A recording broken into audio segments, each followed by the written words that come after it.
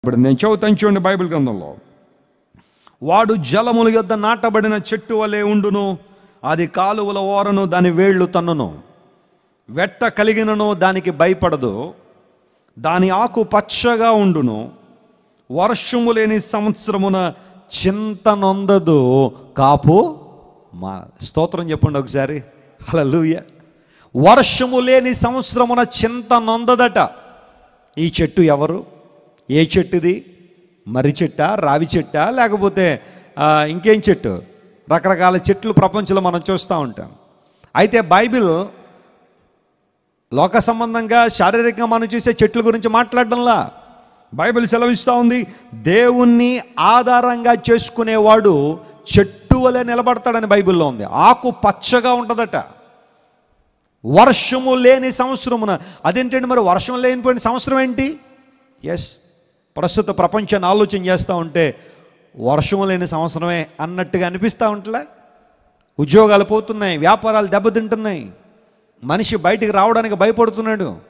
ఇదివరకు ఇదివరకు ఎవరైనా కనబడితే ఆప్యాయంగా పలకరించి దగ్గరికి వెళ్ళి షేకండి ఇచ్చి అగ్గించుకునే వాళ్ళు ఎనిమిది అడుగుల దూరంలో నిలబడి మాట్లాడు దగ్గరికి వస్తుంటే పర్లేదు బ్రదర్ అక్కడే ఉండండి అని అనిపి అనుకునే పరిస్థితి.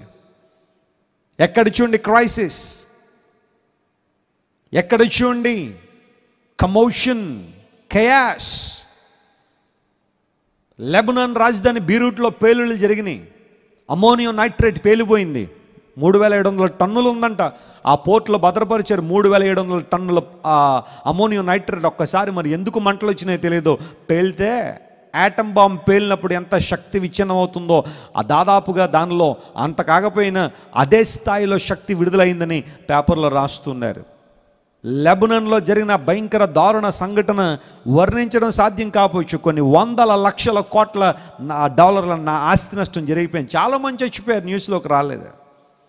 ఇప్పుడు అందరి భయం ఏంటంటే ప్రతి పోర్ట్లో ఎక్కడెక్కడ అమ్మోని నైట్రేట్ ఉందో భయపడుతున్నారు అది ఎక్కడ పేలుతుందో అది ఎక్కడ బ్లాస్ట్ అవుతుందని. భయం గుప్పిట్లో మానవుడు జీవిస్తూ ఉన్నాడు. కంపెనీల నుంచి గ్యాస్ లీక్ అయిపోతూ ఉన్నాయి. యాక్సిడెంట్లు జరుగుతూ ఉన్నాయి. వరదలు ముంచెత్తేస్తూ ఉన్నాయి.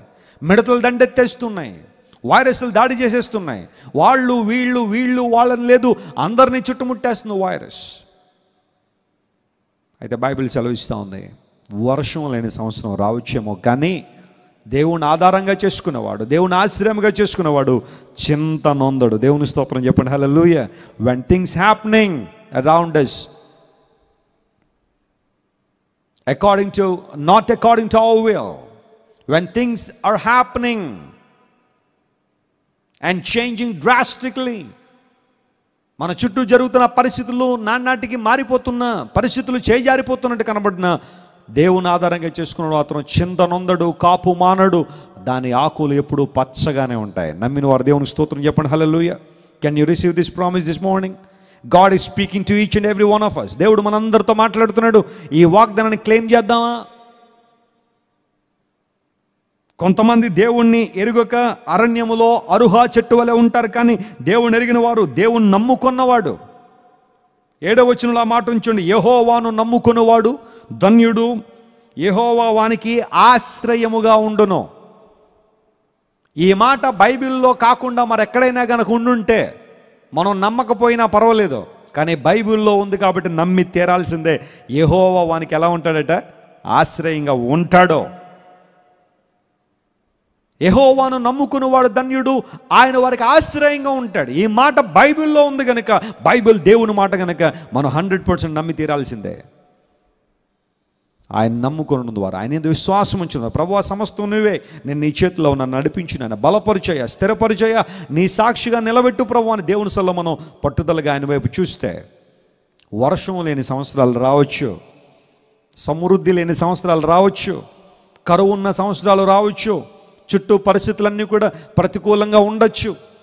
ఒకవేళ ఈ వైరస్ గడిచిపోతే మరలా రానున్న రోజుల్లో మరొక వైరస్ రావచ్చు. ఏ గబ్బిలాల నుంచో లేకపోతే ఏ పిల్లుల నుంచో పందుల నుంచో ఇంకొక వైరస్ ఏదైనా రావచ్చు. కానీ వర్షం లేని సంవత్సరమున ఆ చెట్టు చింతనందదు కాపు మానదు కారణం ఏంటి తెలుసా? అది దేవుని వాక్యం అనే నీటి ఓరన నాటబడింది. దేవుని స్తోత్రం కలుగునుగాక. వాక్యము ద్వారా నిన్ను నువ్వు బలపరుచుకున్నప్పుడు వాక్యము ద్వారా నేను నీవు స్థిరపరుచుకున్నప్పుడు వాక్యము ద్వారా నేను నీవు ధైర్యపరుచుకున్నప్పుడు ప్రభు గొప్ప కార్యాలు నీ జీవితంలో జరిగిస్తాడు.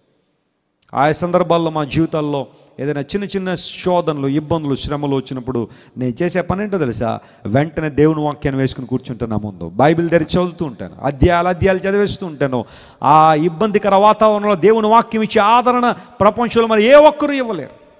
ఏ మనిషి కానీ ఏ రాజకీయవేత్త కానీ ఏ శాస్త్రవేత్త కానీ ఏ నిష్ణాతుడైన డాక్టర్ కానీ మరెవ్వరూ ఆదరణ ఇవ్వలేరు కానీ దేవుని వాక్యం ఇస్తుంది. ప్రాక్టికల్గా నాకు తెలిసి ఆ విషయం.